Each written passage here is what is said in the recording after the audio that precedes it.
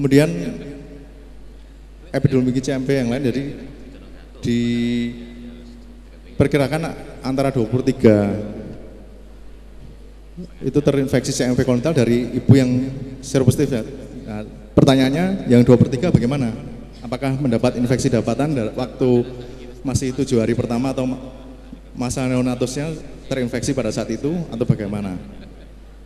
Nah, ini makanya perlu data yang up to date tentang prevalensi atau angka kejadian dan pengamatan jangka panjang infeksi CMV pada maternal dan neonatus.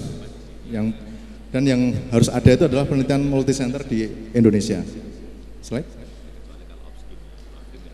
Ya, kita belajar sedikit tentang virologi. Jadi CMV itu termasuk family Herpesviridae, dari infeksi primernya ditandai dengan periode replikasi dari virus yang aktif yang menyebar melalui air liur bisa saliva, urin, kemudian ASI sama sekret genital. Jadi pada fase viremia dia akan menyebar melalui cairan tubuh.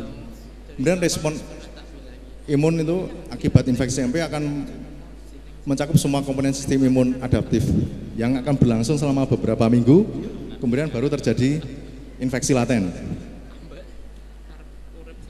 Infeksi laten nanti ditandai dengan replikasi virus yang rendah, bahkan sampai tidak terdeteksi oleh pemeriksaan laboratorium. Ya, ya, genom virus tadi akan bertahan sebagai episom pada CD14 sel mononukleosis darah tepi dan CD33 pada sel sumsum -sum tulang. Jadi ter, akan terjadi terus produksi virus endogen, jadi, jadi virus itu akan mengalami replikasi. Slide. Jadi ini ya, jadi CMV itu juga banyak strainnya. Jadi mungkin namanya CMV, tapi strainnya banyak seperti HPV itu banyak strainnya tipenya. Tipenya ada yang low oncogenic, ada yang high oncogenic seperti 611 kalau HPV. Ini CMV juga banyak sekali strainnya. Ini baru tahap penelitian yang akan dikembangkan nantinya ke produksi vaksin. Ya. Pada ibu yang imunokompeten, akan terjadi reaksi virus endogen terutama ini pada ibu hamil. Jadi pada ibu hamil itu status imunitasnya menurun sehingga mudah sekali terinfeksi.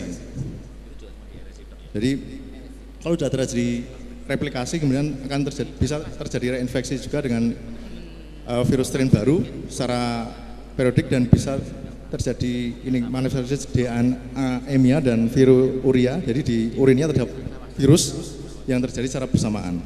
Slide. Bagaimana kita mengenali infeksi CMV pada maternal?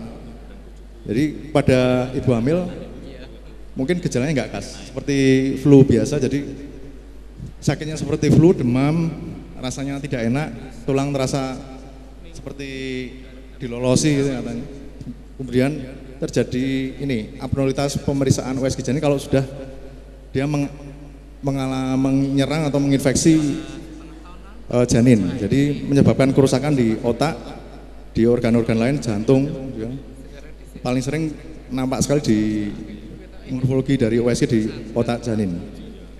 Jadi dengan background seperti itu kita harus uh, mengedukasi ibu untuk diperiksa IgG anti CMV, IgM, maaf IgG anti CMV sama IgG aviditas anti CMV. Ya, kendalanya apa? Biaya mahal. Satu item dari pemeriksaan imunoglobulin itu kurang lebih 300 range-nya itu. Jadi kalau diperiksa tiga, habisnya 900. Apalagi sudah eh, pemeriksaan ini tidak di cover BPJS, jadi akan menjadi kendala. Slide. Jadi bagaimana CMV itu merusak janin, jadi mekanismenya kompleks.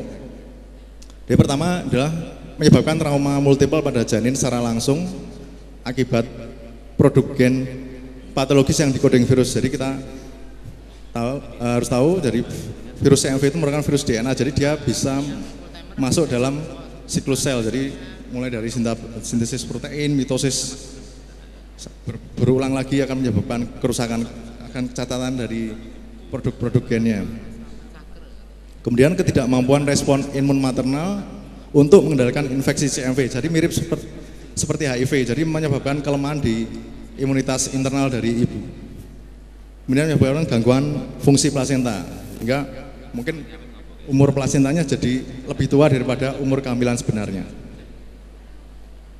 Nah, ini gangguan di dalam sel akibat infeksi CMV. Jadi yang pertama terjadi modifikasi siklus sel, kemudian apoptosis. Apoptosis itu selnya mati lebih cepat. Bisa mati lebih cepat, kemudian memicu respon inflamasi, memicu trauma vaskuler, kemudian menginduksi perubahan gen lokus tertentu pada kromosom, bisa juga menyebabkan kanker, onkogenesis, kemudian regulasi proliferasi sel.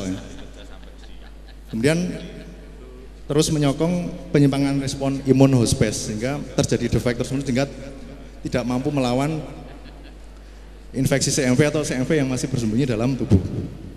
Slide, oh udah. Nah, dampak klinis pada neonatus apa? Ini ada beberapa yang saya paparkan jadi ada mikrosefali, kepalanya kecil, retinitis, ada kelainan neurologis, kemudian pendengaran yang tidak normal, tuli ya, boleh dikatakan tuli, kemudian ada PTG, ruang-ruang merah di kulit, kemudian trombostopeni. Ya, ini contoh virus yang menyebabkan ketulian atau hearing loss. Jadi kalau CMV ini menyebabkan SNHL itu sensory neural hearing loss. Jadi ketuliannya di kedua telinga, jadi menyerangnya di koklea. Insidensinya 6 sampai 23 persen yang asimptomatik ya pada pasien yang asimptomatik. Kemudian 22 sampai 65 persen pada yang simptomatik. Prevensinya dikatakan tidak ada. Kemudian terapinya di luar negeri bisa diberikan ganciclovir, valganciclovir, sidofovir dan fosarnet. Tapi di Indonesia untuk antivirus yang bisa direkomendasikan yang beredar di pasaran adalah valaciclovir. Uh, valaciclovir itu ada dosis 500 eh, mg yang ada di Indonesia kemudian eh, bentuknya preparat oral atau tablet. Untuk recovery dari ketuliannya uh, dari Yamamoto tahun 2011 dikatakan bahwa dengan terapi antivirus itu bisa memperbaiki uh, ketulian pada balita yang menderita infeksi CMV. Slide. Mohon maaf dokter Kiri, waktu kurang lima menit lagi. Oh ya, saya percepat. Ya, jadi ini sudah disinggung tadi, slide slide lagi.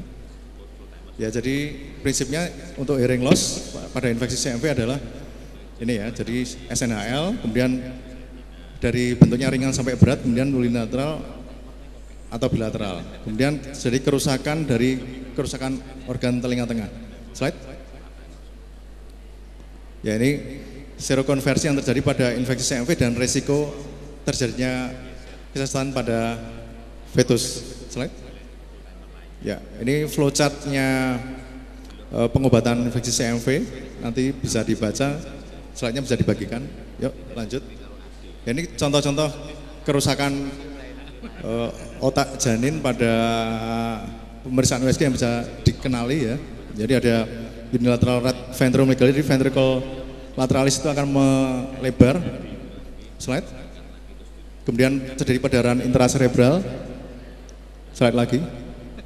Ya ini ada periventricular leukomalacia, jadi ada kerusakan juga di di, di periventrikulernya, ada, ada kalsifikasi. Slide. Kemudian ada, ada poroencefali, slide lagi. Ya, ini ada hipoplasi dari otak kecil yang bagian kiri, ini yang kanan. Slide.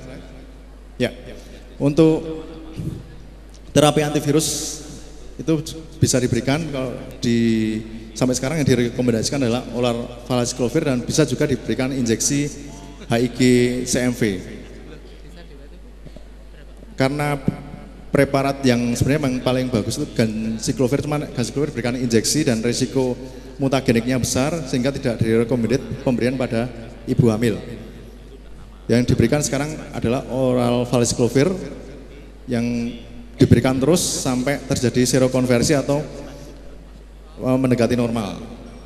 Kemudian evidence atau bukti bahwa ada terjadi perbaikan e, outcome atau ketulian pada terapi yang sudah ditunjukkan pada penelitiannya Maniklal. Slide. Klik. Nggak bisa ya? Videonya nggak bisa? Ya sudah lanjut aja nanti videonya bisa dilihat di rumah masing-masing nanti silakan di copy.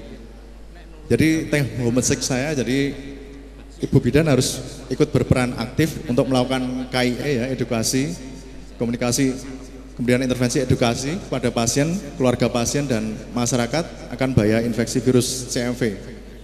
Kemudian screening pasien yang berisiko terinfeksi CMV itu harus dilakukan. Kemudian bila terbukti memang positif harus dilakukan rujukan ke SPOG untuk terapi infeksi CMV. Ya, jadi pesan yang terakhir, mari kita bersama-sama mewujudkan generasi baru yang bebas CMV. Ya, ini contoh kepustakaannya yang bisa di searching. Slide lagi. Ya, terima kasih, semoga bermanfaat.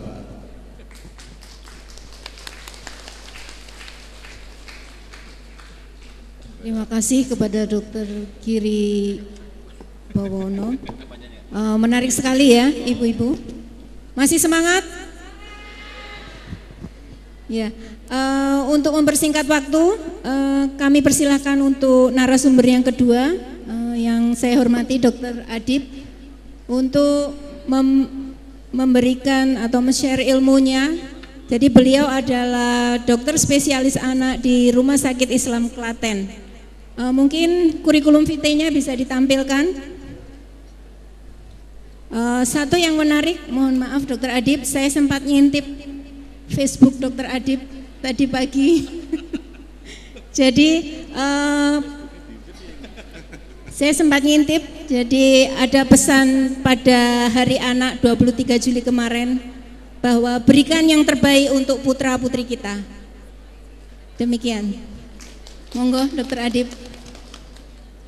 Terima kasih. Assalamualaikum warahmatullahi wabarakatuh. Masih semangat ibu-ibu? Ya. Pertama saya ucapkan selamat ulang tahun dalam rangka HUT IB ke-65 ya. Semoga sesuai dengan tagline ini peran bidan semakin diperkuat dalam pemberdayaan perempuan dan keluarga untuk mendukung SDGs. Seperti kita ketahui, ibu-ibu sekalian ini merupakan ujung tombak kesehatan di negara kita. Terima kasih atas bantuannya selama ini bersama kami semuanya untuk uh, menjadi garda depan menjaga kesehatan anak-anak dan ibu di lingkungan kita. Sekali lagi selamat ulang tahun Ibi. Ya, di sini uh, kita akan belajar bersama mengenai gangguan pendengaran pada anak. Slide. Nah, seperti kita ketahui, gangguan pendengaran merupakan salah satu kelainan yang mayor. Dalam artian dia merupakan suatu kelainan yang cukup signifikan, cukup mengganggu dan cukup meresahkan orang tua pasien. Nanti akan lihat kenapa uh, gangguan pendengaran ini disebut sebagai kelainan mayor. Pertama karena kasusnya sendiri cukup sering.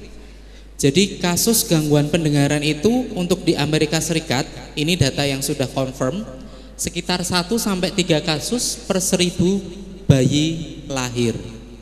Masih cukup besar. Untuk di survei kesehatan rumah tangga Indonesia tahun 2007 ini juga nilainya juga nggak terlalu berbeda banyak, sekitar 2 sampai 4 kasus per seribu kelahiran hidup. Jadi masih cukup besar nggih untuk angka kejadiannya. Kemudian yang perlu diperhatikan juga karena sering kali saat ini kasus kelahiran dengan resiko asfiksi, resiko gangguan nafas sangat tinggi dan juga fasilitas kesehatan kita sering kali sudah ada picu, sudah sorry, sudah ada nicu, sudah ada perawatan intensif. Seringkali bayi-bayi bisa kita rawat di nicu dan bertahan hidup. Cuman sekali lagi resiko bayi yang pernah dirawat di nicu itu kejadian uh, gangguan pendengarannya cukup besar. 2 sampai 4% dari bayi yang dirawat di nicu itu mengalami gangguan pendengaran. Slide. Untuk WHO sendiri juga membedakan dua kriteria. Yang pertama gangguan pendengaran, yang kedua ketulian. Apa sih bedanya? Kalau yang gangguan pendengaran ini hanya berkurangnya kemampuan, tapi kalau yang ketulian hilangnya kemampuan. Di mana kalau gangguan pendengaran ini ambangnya sekitar 26 desibel, tapi kalau yang ketulian itu 81 desibel. Kira-kira lebih berat yang mana, Bu? Yang mana? Oh, berarti masih konsentrasi. Next slide.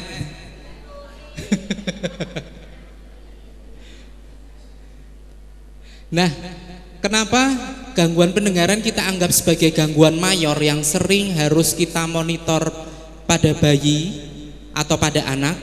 Pertama karena sering kali gangguan pendengaran ini akan mengakibatkan empat hal ini. Yang pertama gangguan bicara dan bahasa. Pertama gangguan bicara itu ada dua jenis ya. Bicara ekspresif yaitu dia melontarkan kata-kata dan juga bicara responsif menerima. Seorang bayi akan bisa melakukan bicara secara apa? e, melafalkan kata, menyebut kata itu setelah dia mendapatkan rangsang berupa pendengaran. Jadi apa yang dia dengar itu akan dia tirukan, itu akan diucapkan. Sehingga kalau dia tergagi gangguan pendengaran otomatis bicara ekspresifnya dia juga akan mengalami gangguan. Kemudian adaptasi personal sosial jelas karena dia sering kali gangguan komunikasi dia tidak bisa menyebutkan apa yang dia mau orang sekelilingnya juga nggak bisa memahami apa yang dia mau sering kali terjadi gangguan adaptasi personal sosial ini kemudian sering kali juga terjadi gangguan akademik atau kognitif karena memang basic pendidikan di tempat kita masih sering menggunakan bahasa lisan atau bahasa verbal ya. Walaupun bahasa tulisan sudah semakin banyak digunakan, tetapi bahasa lisan, bahasa verbal itu masih sangat uh, dominan di tempat kita. Sehingga kalau dia si anak ini mengalami gangguan pendengaran, otomatis kemampuan akademik dan kognitifnya juga akan terganggu. Yang terakhir, gangguan emosional. Ini kira-kira kenapa? Apa kalau uang budek pasti gampang emosi gitu?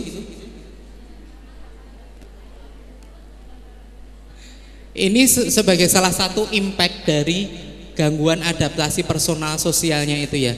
Jadi dia ada apa?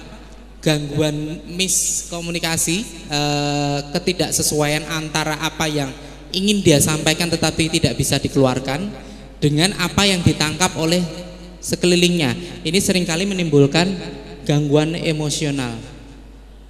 Nah, melihat adanya gangguan akibat dari gangguan pendengaran yang seperti ini, maka pada anak-anak memang disarankan untuk dilakukan screening pendengaran. Nanti akan dilanjutkan oleh narasumber berikutnya mengenai screening pendengaran. Next slide. Nah, kemudian untuk faktor resikonya, banyak sekali faktor resiko ini. Yang pertama, adanya riwayat ketulian dalam keluarga terutama tuli yang tipe sensory neural hearing loss. Ini biasanya sesuatu yang bersifat kongenital, bawaan gitu nggih. Jadi dari sononya itu udah dapat tuli gitu nggih. Kemudian yang kedua, infeksi intrauterin. Tadi pembicara sebelumnya sudah menyebut salah satunya adalah CMV. Apalagi rubella itu juga salah satu yang sering menyebabkan apa terjadinya gangguan pendengaran. Kemudian anomali atau kelainan di wajah dan telinga ini juga salah satu hal yang perlu diperhatikan. Mungkin saja kelainan yang tampak di wajah itu berpengaruh terhadap adanya kelainan di organ dalam telinganya atau entah itu di liangnya, entah atau di organ dalamnya itu juga sangat berpengaruh. Kemudian hiperbilirubinemia yang perlu transfusi tukar. Pernah tahu toh hiperbilirubin? Ikterik nggih? Pernah lihat transfusi tukar? Pernah? Pripun? Ditukar apa transfusinya? Ditukar uang gitu.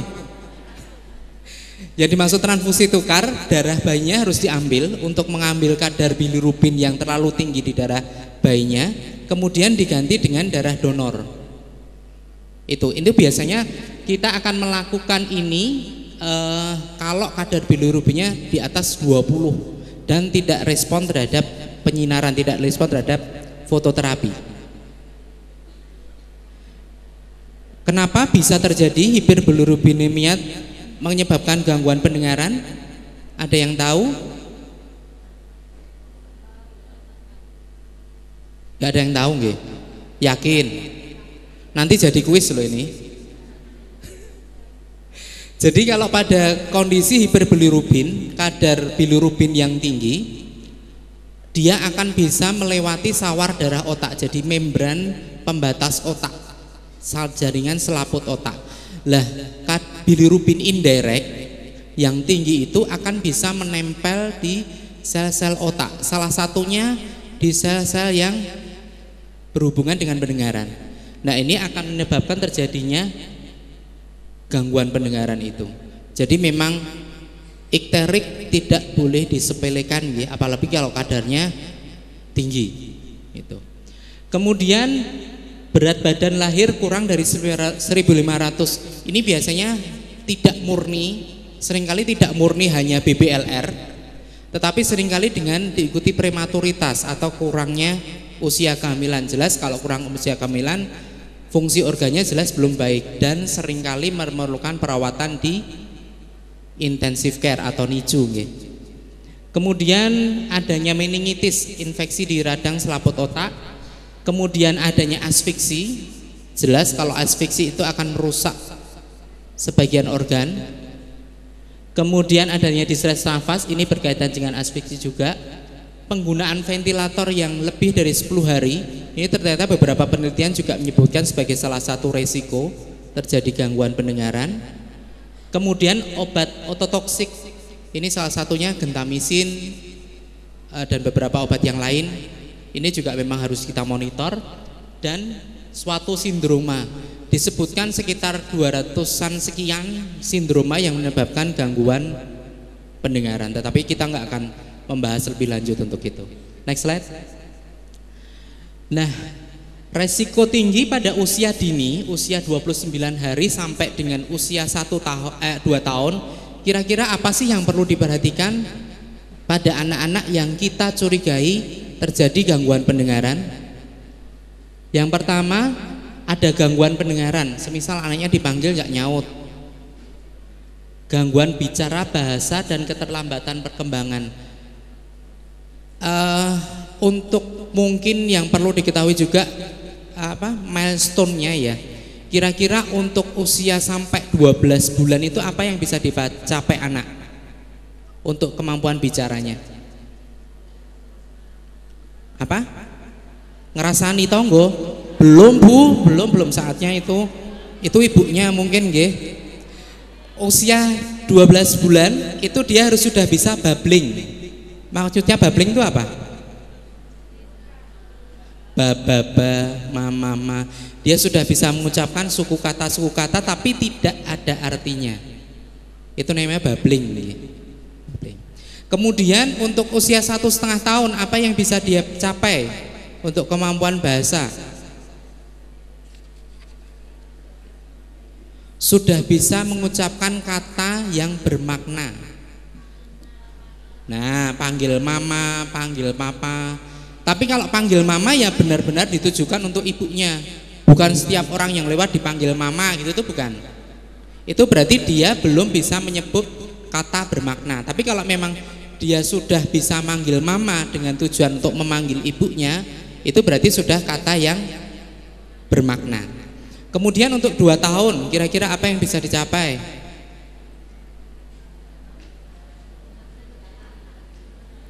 Betul sekali, sudah dua kata yang bisa disebutkan. Oke. Nah itu milestone apa patokan-patokan seperti itu yang Nyun Sewu jenengan agak harus tahu hafal. Kira-kira nek dia ada keterlambatan di situ harus segera warning, okay? Kemudian eh, resiko tinggi yang lain yaitu faktor resiko yang tadi yang sudah kita sebutkan tadi. Kemudian adanya otitis media atau infeksi telinga yang berulang atau persisten. Persisten itu maksudnya terjadi terus-menerus, lebih dari tiga bulan. Ini juga sering kali terjadi gangguan organiknya. Kemudian adanya cedera kepala dengan fraktur temporal, fraktur bagian sini ya. Ini juga resiko untuk terjadi gangguan pendengaran. Kemudian adanya riwayat infeksi, meningitis, mumps. Mumps tahu? Mumps Mams tahu parotitis gondongan dan juga campak. Nah ini kayaknya masih sering kita dapatkan ya sebenarnya nggih. Nah ini yang harus diwaspadai. Kalau anak kena mams, kena campak, itu salah satu efeknya bisa terjadi gangguan pendengaran. Dan ini sebenarnya bisa dijaga dengan dengan dengan imunisasi. Kemudian penyakit neurodegeneratif ini sebenarnya angka yang cukup jarang untuk anak-anak karena memang ini sering kali berkaitan dengan suatu kelainan atau suatu sindrom tertentu. Next slide. Nah, apa yang harus dilakukan jika pada anak-anak tersebut ada faktor resiko? Harus dilakukan screening. Cuman sayangnya dari hasil penelitian hanya 50% anak yang mengalami gangguan pendengaran ini terdeteksi faktor resikonya. Jadi sering kali lebih dari 50%-nya dia ada gangguan pendengaran tetapi tidak punya faktor resiko. Nah, itulah yang benar-benar harus diwaspadai untuk perkembangan anak dalam hal kemampuan bicara dan bahasanya. Milestone yang kita sudah sebutkan tadi, tolong benar-benar dievaluasi. Umur segini dia sudah bisa nyampe ini belum? Sudah bisa nyampe ini belum? Itu nggih. Next slide. Nah, ini contoh-contoh apa sih yang harus kita periksa pada anak umur-umur tertentu. Nah, ini untuk anak usia 0 sampai 4 bulan, kemampuan auditoriknya ini memang masih terbatas hanya berupa refleks Tahu refleks moro? Apa tuh Bu? Kalau dipanggil datang gitu ya moro. Oh bukan. Niku moro Bu. Jadi moro itu kalau dia kita kagetkan, dia akan itu. Itu refleks moro. Itu sebenarnya salah satu penanda kalau dia e, fungsi pendengarannya masih baik. Itu salah satu ya, baru salah satu. Kemudian untuk aura palpebra ini lebih spesifik kalau dia dikagetkan sering kali memejamkan mata. Nah ini ini contoh refleks moro ya di, di apa di, di nyensewu digebrak mejanya di sebelahnya atau kalau rodo ekstrim bayi di, di tangan kita diturunkan sedikit gitu. Nanti dia akan gagap gitu nggih. Ini.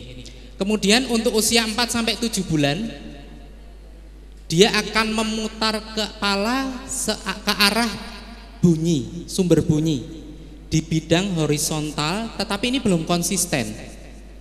Jadi pada umur 4 sampai 7 tahun kira-kira kalau dia dikasih kerincingan dari arah kiri dia akan mengu ke mana Bu? Ya Kalau dikasih kerincingan dari arah atas dia ke mana Bu? Belum bisa dia baru bisa ke bidang horizontal. Jadi jangan diharapkan besok anaknya lahir cenger dikasih kelintingan dari atas dia suruh nyari ke atas gitu enggak ya. Jangan harapkan dia bisa itu memang belum sesuai kemampuannya. Kita memang ada step-stepnya, ada milestone-nya. Kapan kita evaluasi? Oh dia kemampuannya seperti ini. Itu yang harus dievaluasi. Ini ya. Ini untuk usia 4 sampai 7 bulan. Next slide. Kemudian untuk usia 7 bulan ini otot leher biasanya sudah cukup kuat. Kepala dapat diputar ke arah sumber suara. Nah, ini untuk 7 sampai 9 bulan, ini biasanya selain ke samping, dia sudah bisa mencari suara ke bawah tapi bukan bawah meja loh ya. Bawahnya kepalanya dia maksudnya. Dia jadi bisa gerakannya ke samping atau ke bawah. Tapi dia belum kalau ke atas. Masih tetap di sekitar itu. Untuk usia 9 sampai 13 bulan, nah ini e, ke arah bawah dia sudah sangat responsif. Tapi di usia 16 bulan ini sudah mulai ke arah ke atas. Tetapi biasanya atasnya itu enggak secara langsung nengok ke atas gitu enggak. Tapi biasanya dia akan refleksnya ke samping dulu, baru dia naik ke atas. Jadi enggak enggak akan kayak kita nyari melirik tong apa manggane tetangga gitu enggak gitu ya. Jadi dia akan ke samping dulu biasanya baru nanti dia akan mencari ke atas. Itu. Next slide. Nah, untuk sekitar 16 sampai 21 bulan ini sudah komplit dia. Sudah dari bisa ke arah samping, sudah bisa ke bawah, juga sudah bisa ke atas. Kemudian kalau 21 sampai 24 bulan melokalisir bunyi dari segala arah dengan cepat. Nah, ini cuman kendalanya kalau usia 21 sampai 24 bulan karena dia tuh sudah bisa mencari ke mana-mana. Mau ditaruh di sini kelintingannya mau ditaruh di sini di sini dia akan responnya cepat. Tetapi sering kali eh, nah ini yang harus lebih lebih jeli. Kalau lingkungannya tidak tenang anak kadang tidak memperhatikan yang kita berikan dia malah merespon terhadap rangsangan yang lain. Karena eh, dia tidak hanya terespon dengan suara tapi dengan visual ada sesuatu yang menarik dia nah ini kenapa kalau melakukan tes pendengaran diusahakan lingkungannya yang tenang ya next slide nah ini untuk gambar-gambarnya ya jadi yang tadi uh, usia awal 04 bulan itu Rosol from jadi dia kalau dikasih bunyi-bunyian dia akan membuka mata seperti itu. Kalau dirangsang dia akan kaget seperti itu. Itu namanya salah satunya tadi refleks ngoro. Kemudian untuk 3-4 bulan dia rudimenter head turn. Jadi kepalanya sudah mulai mengo ke kanan atau ke kiri arah horizontal. Next.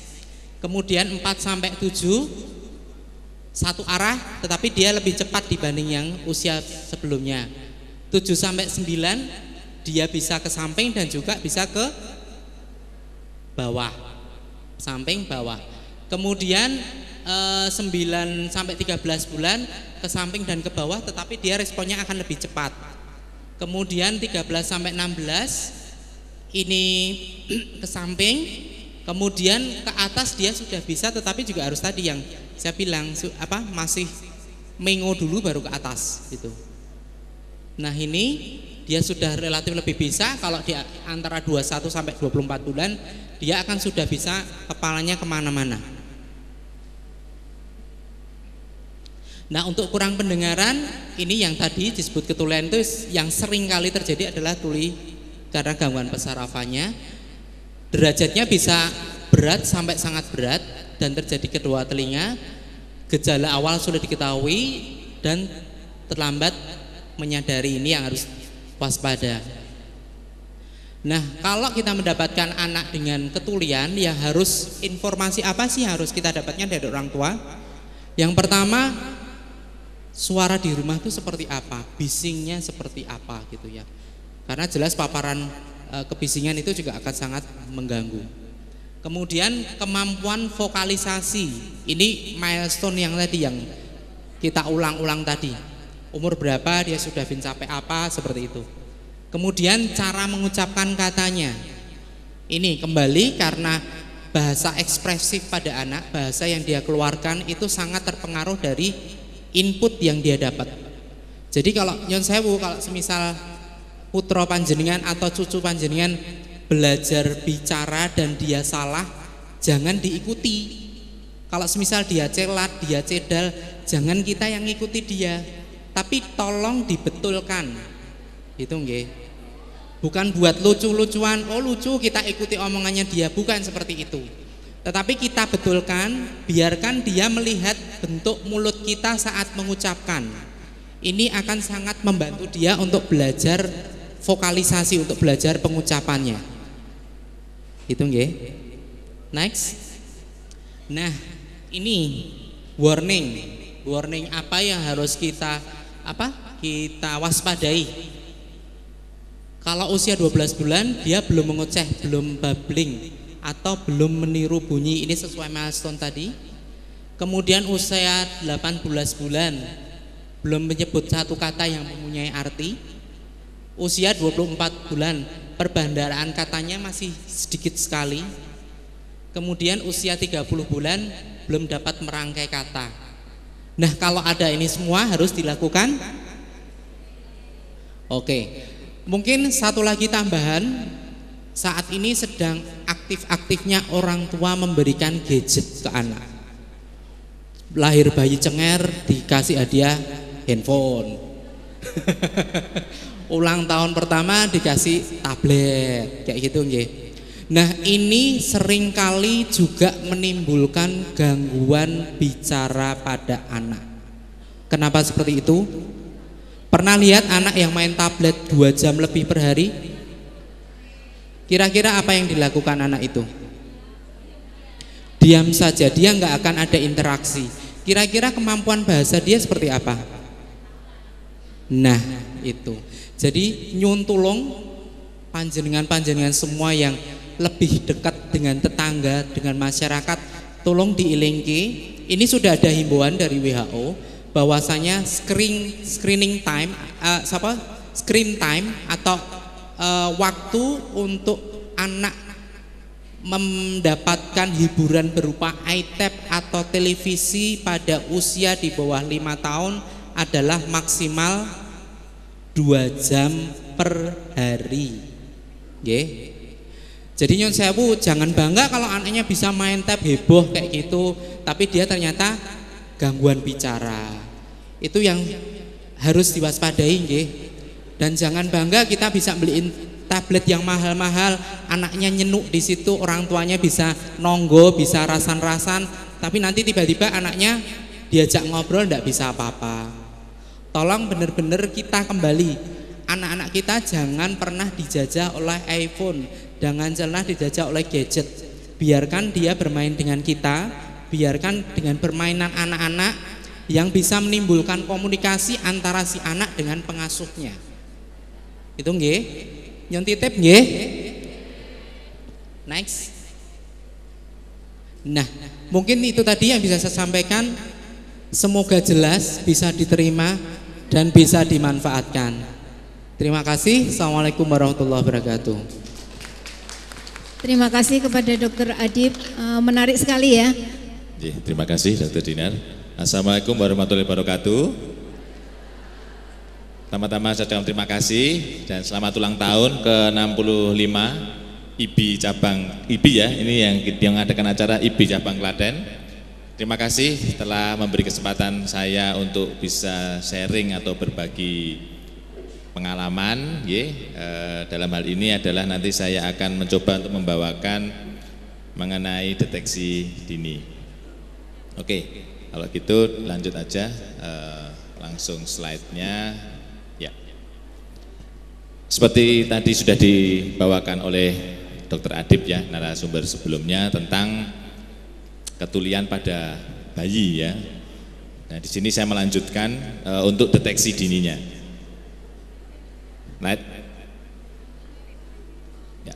Kenapa deteksi dini pendengaran perlu dilakukan? Kira-kira ada yang tahu enggak kenapa kok harus dilakukan secara dini?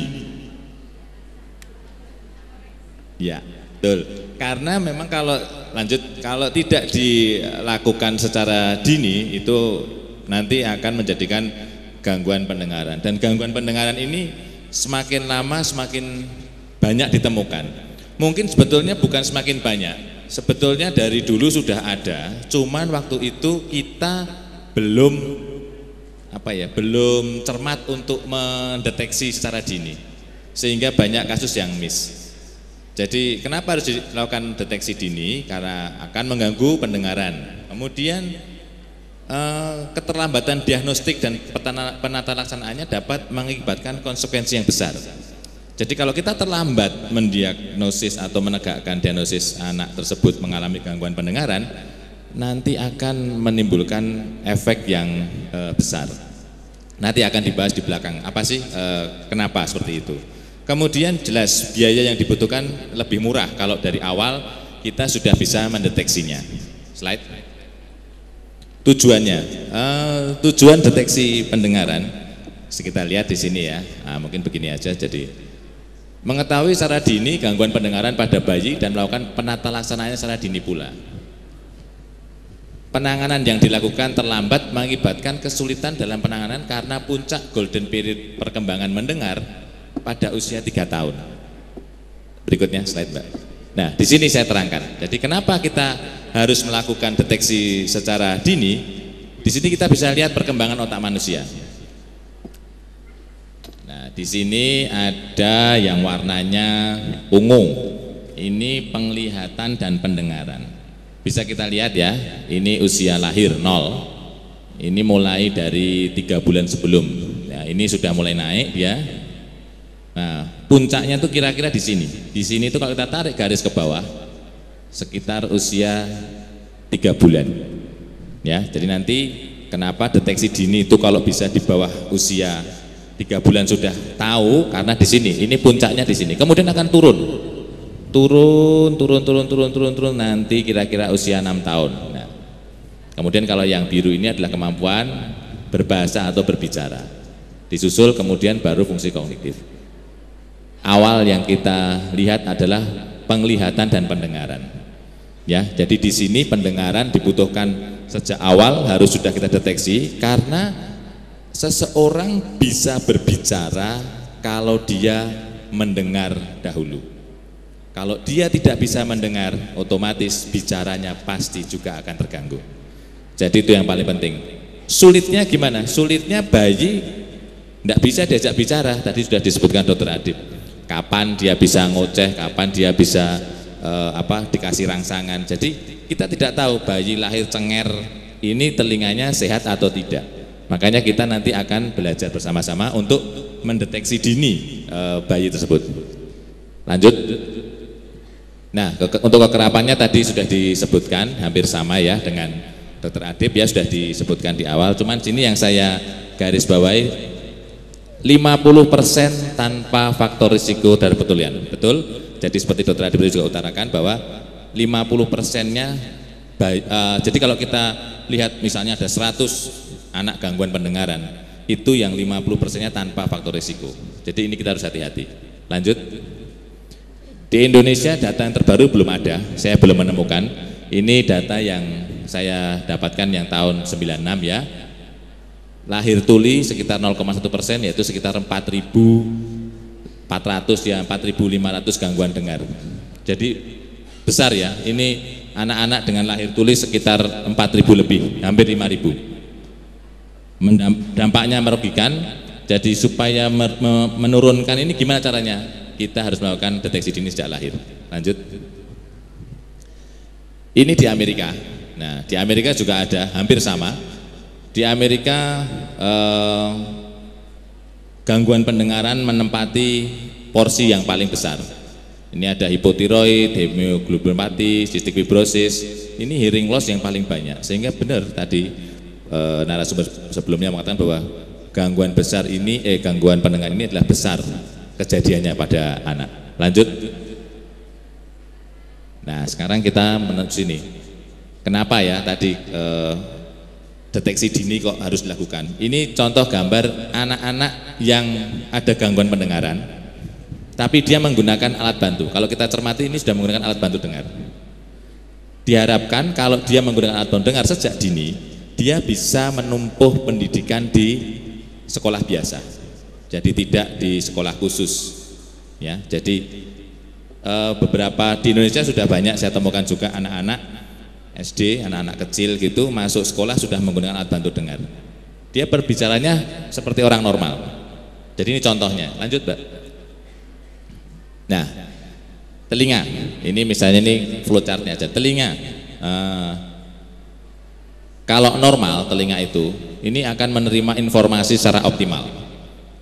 Secara optimal, kemudian uh, merangsang pendengarannya, kemudian otaknya, sehingga itu sebagai modalitas perkembangan komunikasi dan kecerdasan. Bagaimana jika telinga ini ada gangguannya? Jika telinga ini ada gangguan pada bayi dan anak, ini akan mengganggu perkembangannya, jelas akan mengganggu perkembangannya, karena paling tidak dia untuk berbicaranya jadi terhambat. Kemudian bicaranya dan berbahasa mengganggu kecerdasan, interaksi sosial juga akan terganggu. Bagaimana si anak tersebut akan menyampaikan pendapat, menyampaikan ide kalau dia tidak bisa berbicara? Akhirnya jadi pendiam. Bagaimana dengan dewasanya? Sehingga kita sebagai orang tua harusnya melihat kalau si anak ini tidak bisa berbicara, mau diapakan? Sekali pada saatnya nanti dia harus mandiri. Kalau tidak dari awal kita tangani, bagaimana nanti tuanya dia? Kasihan sekali. Oke, ini ada eh, gambar grafik ya, yang me, menggambarkan adalah pada usia tiga tahun yang kuning ini normal ya.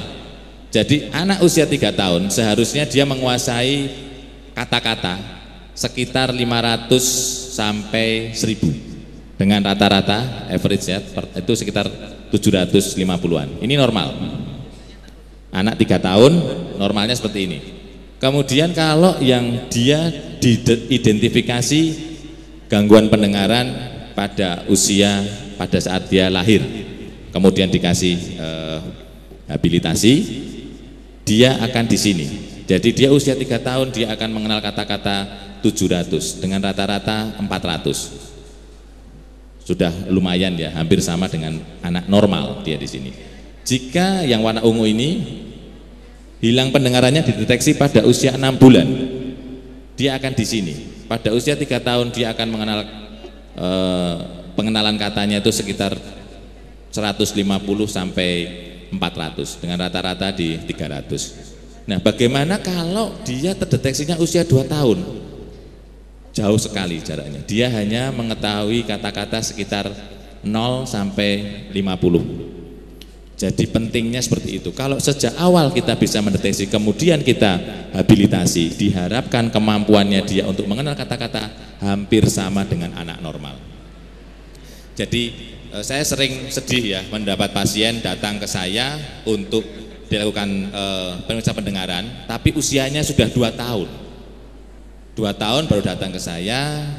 Biasanya saya tanya, ini bapak ibu curiga putra putrinya ini gangguan pendengaran sejak kapan? Sejak satu tahun. Sudah dibawa ke dokter atau dibawa ke bidan atau dibawa ke mantri apa jawabnya? Oh, enggak apa-apa. Tunggu aja nanti dua tahun. Biasanya telat kaya sik wis-wis ya ngono. Jadi datang usia setahun petugas kesehatannya bilang tidak apa-apa. Tunggu dua tahun. Dua tahun baru memang belum bisa ngomong, baru dirujuk ke THT. Ternyata kalau dua tahun itu nanti sudah terdeteksi, kemampuannya hanya sekian. Ini dengan catatan langsung kita tangani habilitasinya kemungkinan hanya tahu jumlah kata tidak nyampe 100 jadi eh, betul-betul waktu ini harus kita perhatikan karena semakin dini kita mengetahui semakin dini kita melakukan tindakan diharapkan hasilnya semakin bagus lanjut nah faktor risiko tidak saya, saya ulang tadi sudah disampaikan dokter Adib sebelumnya ya. Monggo lanjut. Nah di sini prinsipnya prinsip screening pendengaran pada bayi.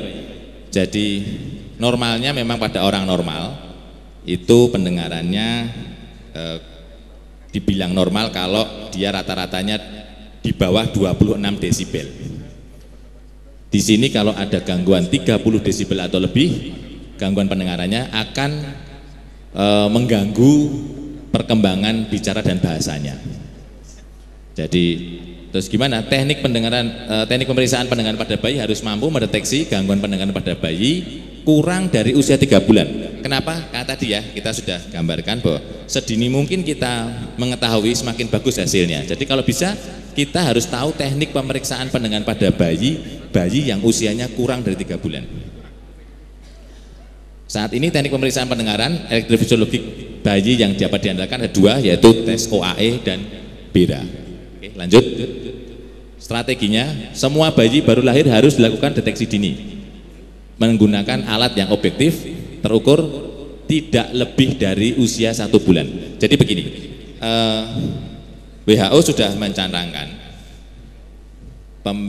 deteksi dini sebisa mungkin usia di bawah satu bulan dengan menggunakan alat tadi ya, kalau punya nanti alatnya. Tapi juga bisa juga dengan teknik yang tadi sebenarnya ya dengan noise maker nanti saya ajari ada di belakangnya.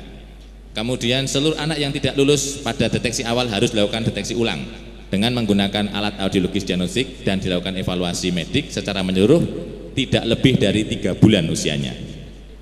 Berikutnya, diagnosis gangguan pendengaran harus ditegakkan dan dilakukan intervensi penata laksanaannya secara dini tidak lebih dari usia enam bulan. Kenapa? Seperti tadi yang gambar sebelumnya bahwasanya jika dilakukan sebelum usia enam bulan, nanti pada usia tiga tahun diharapkan kemampuan berbicaranya tidak jauh berbeda dibandingkan dengan anak yang normal. Nah, pertanyaan berikutnya, mengapa perlu habilitasi sejak dini atau usia enam bulan? Karena seperti ini, saraf dan sentra pendengaran di otak ini perlu dirangsang dengan bunyi-bunyi sejak dini, ya, yaitu eh, yang didengar dan dikenal sejak lahir ya. Jadi ya, tadi mungkin di diajak berbicara, di apa namanya bayi-bayi itu di ja- eh, di apa ya istilahnya itu ya, nek basa Jawa niki. Dililing atau ya, ya seperti itu. Jadi biar dia kenal, oh ini suara ibunya, ini suara bapaknya, gitu nggih. Malah beberapa itu malah masih dalam perut itu sudah kita kasih lagu-lagu ya biasanya ya. Saya enggak tahu itu. Ya dikasih lagu, tapi lagunya yang mungkin yang yang bagus ya, jangan lagu yang bikin gaduh nanti metu-metu anaknya joget metal kaget kabeh nanti dan. Jadi mungkin lagu-lagunya yang yang slow gitu ya. Terus eh, kenapa? Agar terjadi perkembangan dan kematangan proses pendengaran di otak. Nah ini ini penting. Jadi memang harus dirangsang supaya otaknya berkembang sedini mungkin. nggih. Jika terlambat, gimana? Jika terlambat, misalnya anak dengan tuli kongnital akan dipasang alat bantu dengar, jadi ABD ya. Alat bantu dengar setelah dia besar, dia bisa mendengar bunyi, tetapi tidak mengenai bunyi itu apa. Jadi gini, ini kalau terlambat, misalnya tadi itu, anak usia beberapa waktu terakhir ini banyak pasien yang datang sudah SLB. SLB datang, kemudian dia minta karena sudah punya biaya atau dengan BPJS dia minta untuk dipasang alat bantu dengar. Padahal dia sudah besar. Bagaimana kalau sudah besar? Ini dia mungkin tidak bisa diharapkan bisa berbicara seperti orang normal. Ya karena apa? Otaknya tadi sudah tidak berkembang. Nggih? jadi paling kalau dia besar menggunakan alat bantu dengar hanya untuk awarenessnya saja. Jadi biar nek di bel wong minggir atau kaget. Bahaya. Soalnya begini orang dengan gangguan pendengaran itu seperti orang normal. Beda non sewu maaf kalau gangguan penglihatan. Di pinggir jalan pakai tongkat kayak gini-gini. Mobil minggir motor minggir. Hati-hati kayak rawruh tapi jika orang gangguan pendengaran mau nyebrang melaku biasa nyebrang. Dibal. Wedian dibal ora minggir. Wow kentir. Dunek-unek ke repotnya orang gangguan pendengar begitu malah dipisu-pisui dunek-unek ke padahal orang dengar betulan tapi secara fisik dia normal. Ya jadi paling kalau sudah besar tetap dikasih gunanya untuk apa? Untuk awareness lingkungan. Supaya dia bisa minggir atau tahu kalau ada kereta lewat ada bis lewat. Gitu nggih. Tapi jangan diharapkan oh ya nanti SMP atau sudah SD kasih alat dengar nanti bisa ngomong. Enggak ya. Karena tidak berkembang itu tadi kalau tanpa rangsangan akan terjadi atrofi saraf dan sentra pendengaran. Sehingga ini tadi, kenapa kalau sudah besar dikasih alat bantu dengar, hasilnya kurang bagus. Tidak optimal. Semakin besar semakin tidak optimal. Begitu nggih? Oke, lanjut. Ya, berikutnya, Mbak. Oke, nah. Sejak dini bayi harus mendengar dan mengenali bunyi. Ya, suara ibunya, suara gelas pecah, klakson, suara bapak, kakaknya, adiknya, suara hewan-hewan, suara binatang. Ini harus kita kenalkan ya. Suara-suara yang bagus kita ajari. dirungokke gitu supaya dia mengenal suara suara-suara tadi supaya otaknya berkembang nggih tadi betul kalau dia hanya terpaku dalam tabletnya saja tanpa main keluar ya repot masih beruntung zaman kita dulu kecil mungkin masih main ke sawah main ke sungai masih dengar suara kodok, suara garengpung, suara apa, jadi ngerti. Kalau sekarang mungkin udah jarang ya seperti itu ya. Oke lanjut mbak. Nah sekarang dari tadi kita ngomong screening, screening, janeki piye toh? Screening itu ada dua ya. Ini bahasa Inggris, should the hearing screening be risk factor based or universal? Tadi sudah disebutkan. Jadi ada yang dengan faktor risiko, ada yang tidak. Padahal kalau dengan faktor risiko saja itu hanya menapis 50%. Karena yang 50%-nya lagi yang gangguan pendengaran tadi tidak ada faktor risikonya. Sehingga bagaimana? Nah, ini ada dua yang tadi ya, universal. Jadi universal newborn hearing screening atau UNHS ya, semua bayi lahir atau yang target. Jadi hanya bayi-bayi yang dengan faktor risiko saja yang kita lakukan screening. Dulu sebelum tahun 2010 kalau tidak salah, kita masih menggunakan target newborn hearing screening. Jadi yang kita screening hanya bayi-bayi dengan faktor risiko. Tetapi ternyata banyak missnya sehingga mulai 2010 ke sini diharapkan semua bayi lahir harus di screening. Lanjut. Nah, ini anjuran WHO ya untuk menuju menuju sound hearing 2030 ya. Mengingat dampak tuli kongnital yang berat dan luas, kejadian tuli kongnital harus diturunkan. Bagaimana? Melalui kerjasama berbagai macam disiplin ilmu. Oke, anjurannya negara Asia Tenggara harus melaksanakan screening semua bayi yang lahir atau universal neonatal hearing screening dengan cara menggunakan OAE semua bayi baru lahir harus dilakukan OAE seperti ini alatnya. Caranya mudah tidak invasif bisa dilakukan oleh petugas kesehatan perawat bidan juga bisa mengerjakan gampang jika ada kelainan dilanjutkan dengan evaluasi lebih lengkap dengan pemeriksaan radiologis dan klinis yang lengkap jadi diharapkan nanti ke depannya karena kelahiran itu banyak dibantu oleh bidan. Jadi ibu-ibu semua harus bisa mendeteksi. Selain menggunakan alat yang sederhana, juga nanti menggunakan alat OAE. Kalau di negara barat, di Amerika, di Eropa, 100% semua sudah dikerjakan. Cuman kalau di Asia Tenggara ini angkanya, di Indonesia saya belum tahu angkanya, tapi kalau di Filipina sekitar 30 persen. Baru 30% yang bisa di screening. Karena mungkin keterbatasan alat ya. Lanjut. Ya. Peran bidan deteksi dini ketulian. Peran bidan sangat penting Bu. Ini saya gede loh peran bidan sangat penting. Kenapa sangat penting? Karena 60% persalinan itu oleh bidan. Terima kasih ya Bu Bidan. Ini membantu kelahiran Indonesia ini sampai 60% di Indonesia diperkirakan 5.000 bayi lahir tuli. Tadi angkanya yang tahun 96 itu sekitar 4 1.500 ya. Ini yang terbaru mungkin 5.000 dan 3.000 bayi lahir tuli melalui persen lebih bidan banyak sekali ya. Ini 3.000 jadi saya nanti kita berbareng-bareng ya belajar bagaimana sih caranya mendeteksi sehingga tidak miss ya tidak uh, luput gitu ya nah pemeriksaan bayi baru lahir khusus telinga oleh Bu Bidan nah ini Periksa dan pastikan jumlah dan bentuk daun telinga. Dilihat telinganya utuh apa enggak, ada lubangnya atau tidak, itu ya, mungkin dilihat. Besarnya terlalu ekstrim, kalau besarnya mungkin enggak sama persis ya, cuman ekstrim enggak. Kemudian pada tulang pada bayi cukup bulan tulang rawan sudah matang. Bentuk dan lengkung daun telinga harus sempurna. Perhatikan letak daun telinganya, jika letak rendah mungkin ada e, sindrom tertentu, jika ada tambahan Eh, kulit atau auricle mungkin berhubungan dengan abnormalitas di organ yang lain gitu nggih. Nah, khusus pendengaran bagaimana? Bunyikan bel atau suara untuk merangsang refleks primitif. Seperti tadi ya sudah disebutkan dokter Adib tadi ya, refleks terkejut ya itu berarti baik, kalau tidak diduga ada gangguan pendengaran. Oke. Lanjut. Nah, seperti ini. Ini dengan menggunakan noise maker. Noise maker ya pakai kerincingan gitu ya. Ya tidak mengharap dia akan nengok ke atas ya kalau diterangkan dokter Adib. Tadi nggak mungkin dia nengok ke atas ya usia segini. Paling tidak dia mungkin akan bereaksi ya. Dengan ini dengan bel. Nah ini alat-alat sederhana yang bisa kita temukan. Ini kan mainan anak-anak ini. Ada tambur ada kerincingan ya, ada bel.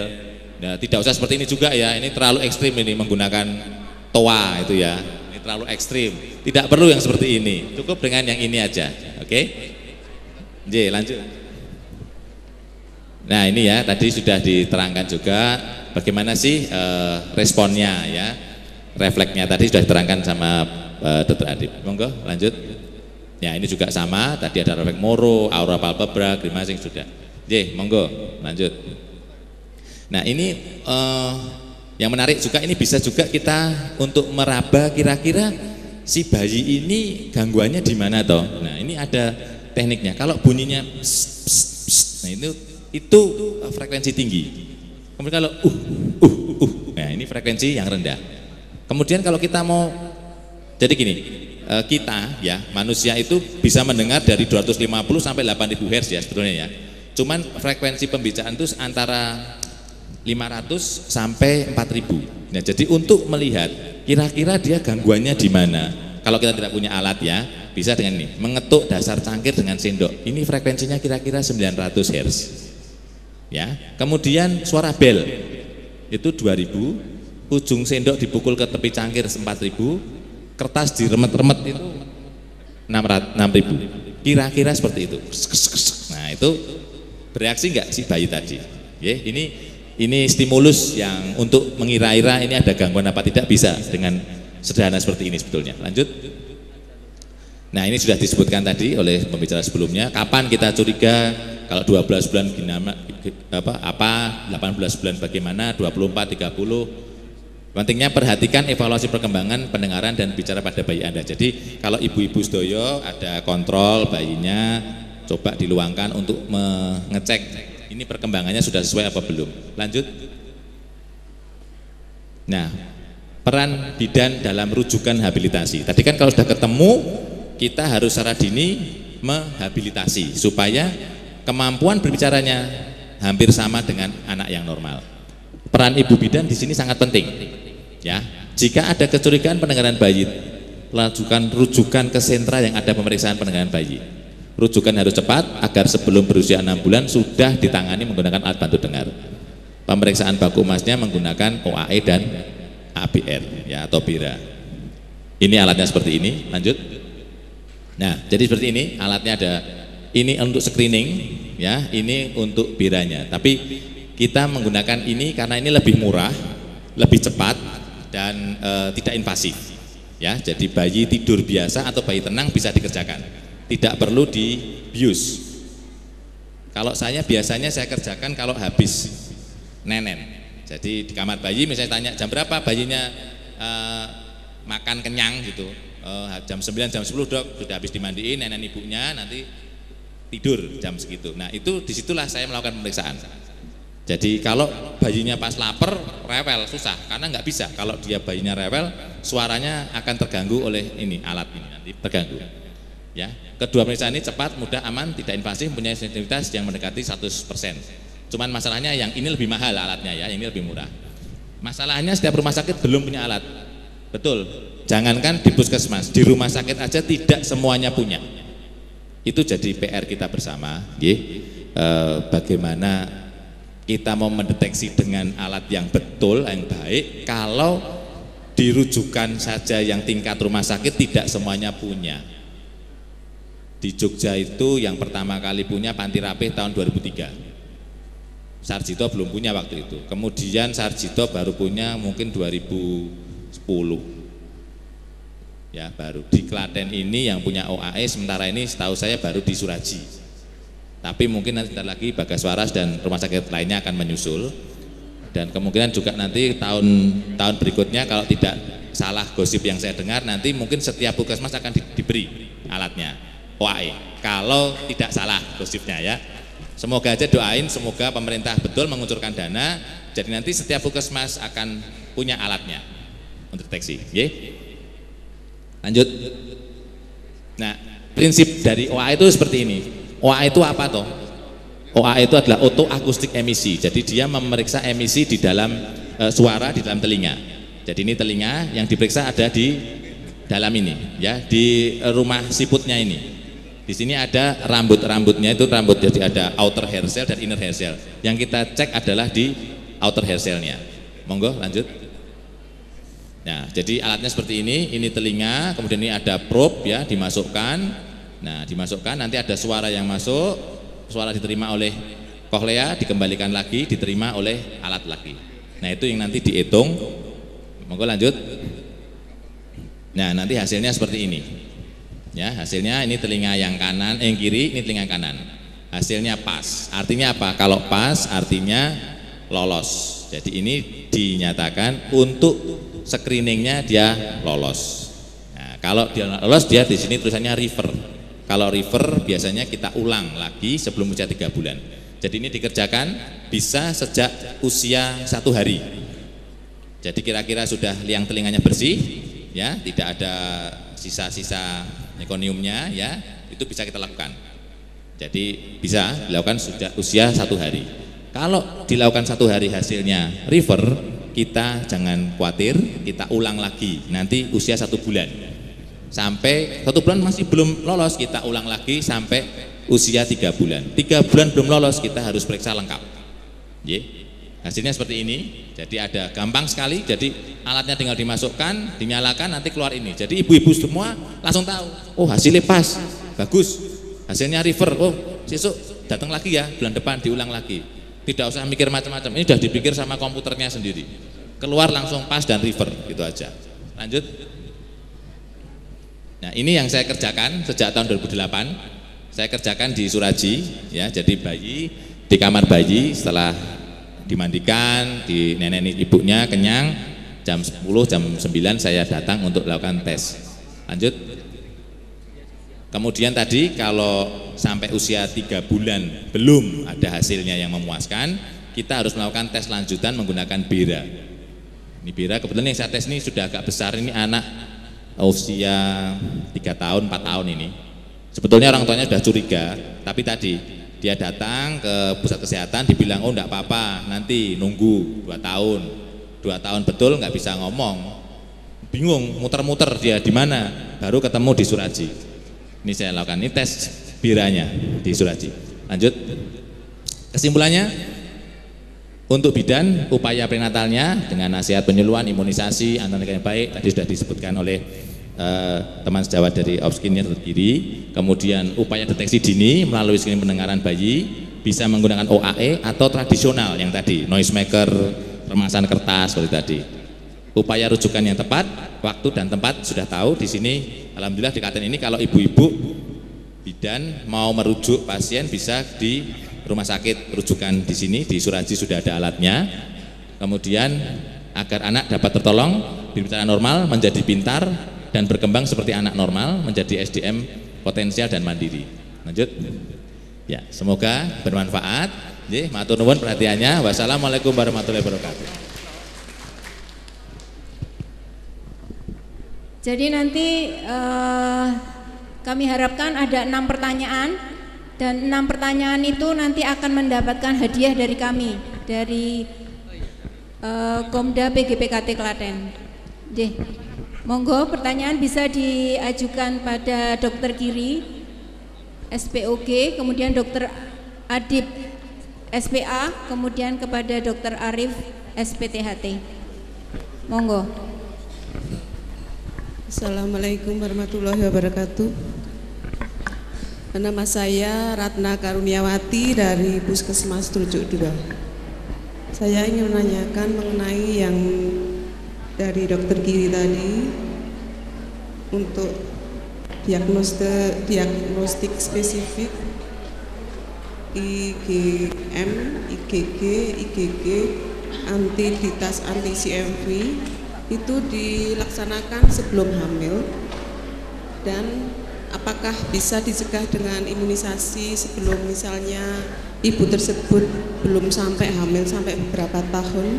Itu dok kemudian apakah ada vaksin rubella untuk mencegah si ibu yang merencanakan kehamilan itu supaya tidak terjadi eh, tidak terkena infeksi dari rubella? Karena dari teman saya dari tahun yang lalu pernah terjadi kasus kena rubella dan hamil 10 bulan. Kena taunya dia itu kena campak gabak terus usia kehamilannya 10 minggu dan waktu waktu dia sudah bersalin sudah anak usia tiga bulan ternyata terkena itu gangguan ketulian sampai sekarang dengan tidak bisa dilakukan dengan alat bantu dengar dan hanya dengan bahasa isyarat saja. Demikian dok dari kami. Assalamualaikum warahmatullahi wabarakatuh. Waalaikumsalam.